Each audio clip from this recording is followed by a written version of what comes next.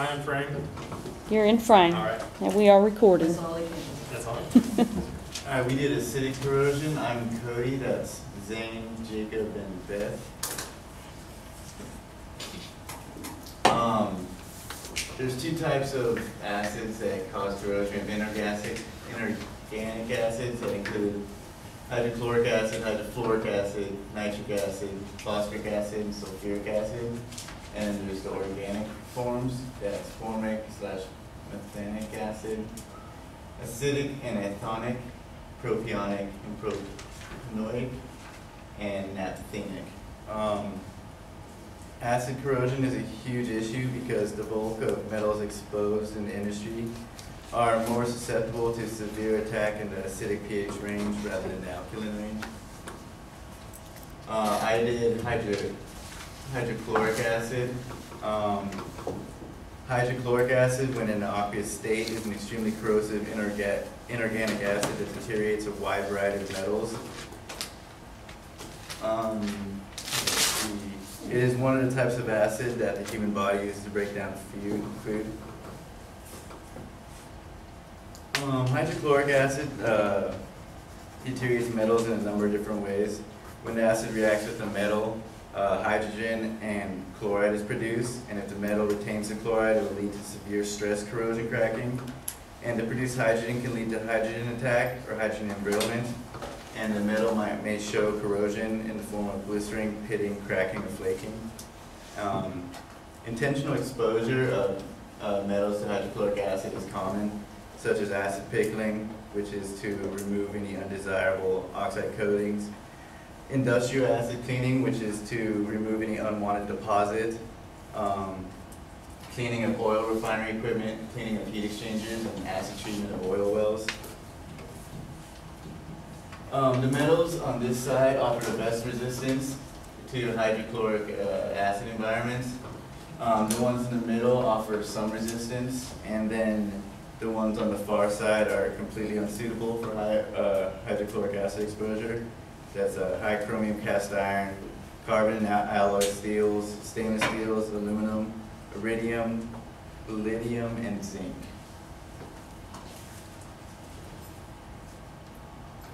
Uh, there's a variety of factors that affect corrosion. Temperature, uh, as the temperature increases, the corrosion rates increase as well.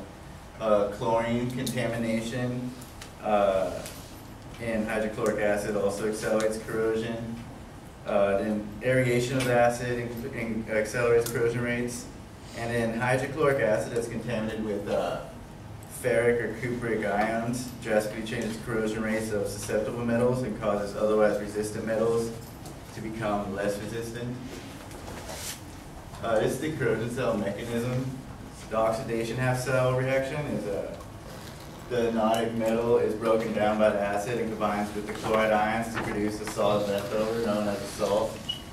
Um, the, the reduction half cell reaction, the hydrogen atoms are deposited on the cathode and either form with other hydrogen atoms to produce a hydrogen gas or get absorbed into the metal. And this is a picture of zinc inside hydrochloric acid. Uh, the acid is consumed during this reaction if there's enough material for the acid to react with. And this is an example of hydrochloric acid damage on a steel pipe.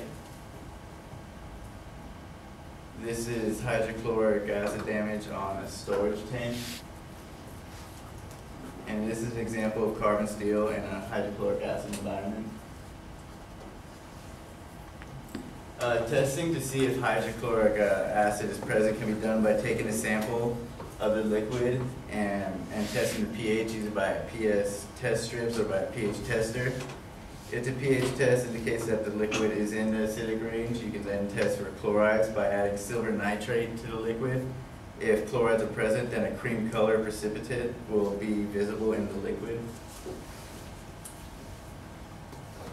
And then one of the best or most effective ways of dealing with hydrochloric acid is taking preventative measures.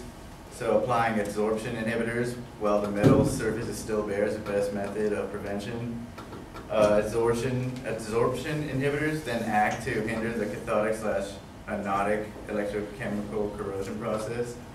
Uh, many nitrogen-containing com- compounds are effective inhib- inhibitors, and uh, same with acetylenic alcohols. Um, you must vent all the hydrogen gas that is uh, created during any acid reactions to prevent any explosions, fires, or hydrogen damage to the metal, and thoroughly flush out the system to remove any leftover acid or chloride ions to prevent any damage to the base metal. Alright, so I covered sulfuric acid and I researched it. And I found that it's a colorless to brown liquid and it's dense and oily. And it's water miscible, which is basically it's hydrophilic, which means it's attracted to water. And it's usually produced from uh, sulfur dioxide. And it's also an efficient uh, drying agent for gases such as dihydrogen, molecular dihydrogen, and carbon dioxide and it's also known as oil of vitriol and dipping acid. Um, its uses in environments are basically in fertilizers and uh, explosives, so just stay away from those if you don't want to like set yourself on fire or explode. Um, and it's in rayon, which is a manufactured cellulose fiber, which is a textile or a fabric. And it, it usually has a low volatility, but it's used in volatile acids like nitric acid and uh, hypochloric acid. And it, it's produced from biological decomposition, which is feces or poop. And it's, it's found mostly in sewage and sewage type environments. Um, a fun fact I found out was humans make more than 100 million tons a year alone. Like like just humans, not, not like manufactured through factories, just by ourselves. And it's a common component in acid rain. Um, some susceptible metals are copper and copper alloys, uh, cemented carbides, silver, and rhodium. But some metals that are commonly used in uh, sulfuric acid environments are like palladium, tantalum, and lead. Um, but it's just, it's that because uh, they're mostly like, well, palladium is, it's not as resistant to sulfuric acid because like in a hot environment, it'll corrode more. And so like tantalum and lead are good for like boiling uh, sulfuric acid. Um, it attacks most metals, but the rate of attack depends on the concentration of the acid. And uh, an indication of possible vulnerability is like how concentrated or dilute it is. So stainless steels resist either very dilute or concentrated acid. So like you could use that in a uh, sewage type environment. And zirconium resists up to 50% concentrated uh, sulfuric acid. Um, some factors that affect the corrosion, well, the concentration will affect it, of course, and the velocity of how fast your um, your sulfuric acid is moving plays a major role in uh, what the corrosion is. So, like, thinking about that, lava is a major component, well, has a major sulfuric acid component inside of it. And so, if you're around lava, you'll want to put metal in it or around it. Um, and the temperature of the environment is a major factor for sure. Um, the corrosion cell mechanism, uh, active metals can displace hydrogen ions from acids, while inactive metals can't. And so the hydrogen in acids is displaced by the metals produce, to produce hydrogen gas. Um, sulfuric acid combined with iron creates sulf uh, iron sulfate and hydrogen gas, and that's what the formula shows. And this is basically what the reaction was showing in the last slide. This is a, uh, a iron bar put into a solution of sulfuric acid. And this is just a, a, representation of what sulfuric acid would look like if you were just like carrying it around in your medicine cabinet. And this is some severe um, sulfuric acid corrosion. Um, I'm not sure uh, how long this pipe was in use, but I knew that it was in a sewage environment. Um, some testing and monitoring methods. Um, you can detect the acid as an anion And you can do that by using an acid, acidometric analysis, which is a measurement of the pH level. And you can use ionic chromatography, um, which is an accurate, gives accurate quantitative results of the sulfate. And one thing you can do is you can avoid um, sulfuric acid corrosion through good feed preparation. And this is by removing contaminants through caustic treating, water washing, coalescing, and filtering. And you can maintain the acid concentration at the right at the right levels to uh, reduce the corrosion rate. I covered nitric acid corrosion. Nitric acid, HNO3, is one of the most widely used acids in the chemical processing industry. It's a very common one. Nitric acid is a highly acidic chemical that is an oxidizing agent which attacks most metals. Air oxidation of nitric oxide occurs at higher temperatures and is often found in acid rain. Nitric acid creates toxic fumes and moist air, reacts with organic and plastic compounds, and is particularly aggressive with most metals, and even more so with copper. Cemented carbides, lead, tin, and silver are rapidly attacked by dilute uh, HNO3, gold, molybd- molybdenum, and high nickel austenitic cast iron suffer when under concentrated nitric oxide. HNO3. Stainless steels have broad applicability because the chromium content amplifies the effects of HNO3. Tantalum is inert to HNO3. Titanium has high resistance. Zirconium is even more resistant to HNO3. Hafnium is unaffected, and niobium, niobium completely resists HNO3 up at and below temperatures of 100 degrees Celsius. Uh, indications of possible vulnerability. Generally, stainless steels are resistant to corrosion and nitric acid. Factors that affect this type of corrosion. In heat-affected zones of welds, uh, corrosion of nitric acid can occur. Uh, corrosion will usually occur when the temperature reaches 600 and 600 to 800 degrees Celsius, followed by exposure to nitric acid. This represents corrosion of stainless steel. I found this chart online. It shows the temperature, and the HNO3, and the weight percentage. Examples of this corrosion, this was a piece of metal, this was a weld with, that I was just talking about. Just kind of what it looks like, it's hard to tell, but that's, that's the weld right there. More examples, nitric acid can be very dangerous, especially to stainless steels. Here's a, here's like a person's finger when they touched it. And then here's someone, like some that touched some stainless steel. You can see it burn a hole in it. Uh, testing and monitoring, electrochemical monitoring techniques such as AC impedance, electrochemical noise, and galvanic coupling. Control methods, uh, weight loss, DC polarization, and AC impedance techniques. Uh, Formic acid, that's me. Uh, formic acid, picture of an ant here because there are a group of ants which produce formic acid.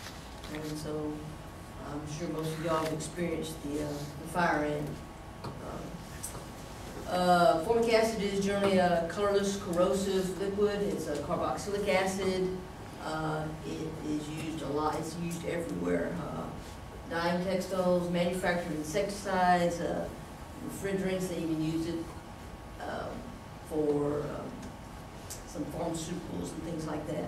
Um, Got another name, sometimes it's called methanoic acid, it's got actually several other names it's known by. Uh, It's a very simple acid. Uh, Y'all heard of the crazy ant? No? Oh, the crazy ant, the crazy ant's the one on top there, and the fire ant's the one on bottom. Crazy ant actually can use the formic acid and protect itself from the sting of being a fire ant. Kind of neat chemical warfare going on right there. Uh, formic acid, some bad stuff in high concentrations, it's really bad. Um, it's very aggressive, uh, in chemical reactions. Um, it is an organic acid. Um, flammable, uh, it can produce, uh, toxic vapors, um, it can be harmful, of course, if swallowed.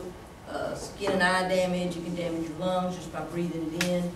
Uh, It can, it can cause some uh, long-term exposure, can uh, damage other organs in the body also. Um, Things that are susceptible, you wouldn't think about it a lot of times, but uh, steel and stainless, there are some stainless steels that are more susceptible than others. Um, Plastics don't do well in this stuff. Um, Aluminum, copper, uh, some of your high chromium, nickel, um, molybdenum, stainlesses are okay. Titanium is kind of like the metal of choice. Uh, Zirconium, tantalum, uh, silver actually is used a lot in Europe. Uh, corrosion cell mechanism, um, it, it can be both, uh, an oxidizing and reducing agent. Of course, it's gonna lose the hydrogens. Um, the hydrogen will come off and they're gonna react with your metals. Uh, you're also gonna produce, uh, carbon dioxide, so you can produce a lot of gas with this. So if this thing's reacting a lot, uh, and it's in an enclosed environment, you could possibly have some, pressure issues going on there. Um, some more reactions that showed, formic acid, formic acid as an oxidizing agent. Um, formic acid is here, uh, it can be reduced down to CO2. Once it loses these hydrogens, then you've got carbon dioxide. So you're talking about hydrogen gas and carbon dioxide gas. So those two can cause other problems within the system, as you've heard other people speak about. Um, Acids and proton donors, um, these are the free hydrogens that are gonna react with those things. Uh, Another corrosion cell mechanism here. Uh, You see here the hydrogen's coming off, your electron free, you get CO2 gas produced. Okay, These can be recycled within the system as well. Uh, Some more corrosion cell, this, this gets really complicated really fast, it's reacting to copper here. Uh, You can see there's a lot going on, this is atmospheric stuff, there's an aqueous layer, and then there's your, your metal base down here. Lots of stuff going on, it's very reactive at, at, at- in the gaseous phase, in the liquid phase, it's pretty bad stuff. Um, Since most organic acids are not simply an oxidizing or reducing, um, when they're in the environment, uh, corrosion occurs through a series of reactions rather than thinking of a single reaction. Uh, Very corrosive to metals, very corrosive to tissues. Um, Temperature, uh, temperature, concentration uh, affect the rate of reaction uh, in a big way. The higher, it- hotter it gets, the higher the concentration, the more reaction you get. Uh, Corrosion rates, again, contaminants are what can drastically increase your uh, corrosion rate. Air or oxygen within the air particularly, ions, uh, peracids, peroxides, all these things really reduce, uh, really increase your reaction with coppers. Uh, chlorides, um, with your organic acids like formic acid, will increase the corrosion of stainless steels. Because it's gonna break down the correct protective coating. Um, a type of formicary corrosion, uh, just kind of goes, and soap sinks in and can cause, uh, this, uh, kind of looks like an ant mound if you look at it.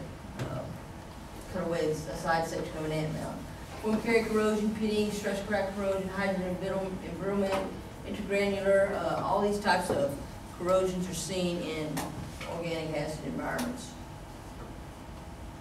Uh, Some more pictures uh, showing different concentrations. Uh, On your left, the concentration uh, was at twenty percent at around forty degrees Celsius.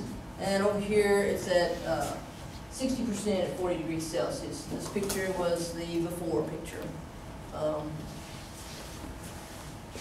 Monitoring testing, the ion chromatograph, uh, you can use, um, you can test for the concentration of acids, like pH testing, you can even use coupons to monitor uh, what's going on inside your systems. Uh, Corrosion control methods, I read lots of stuff, it was very specific to what, um, what kind of container it was in, or what kind, of, what concentration the acid, what temperature the acid was in. Uh, material selection was important, of course. You can use coatings. Uh, some, sometimes they use liners in the tanks. Uh, there was the use of inhibitors. Uh, keep down the contaminants was important, and watch the temperature of the uh, product. All right, I did hydrofluoric acid, um, which is a colorless and poisonous uh, inorganic acid um, that's highly corrosive and extremely reactive.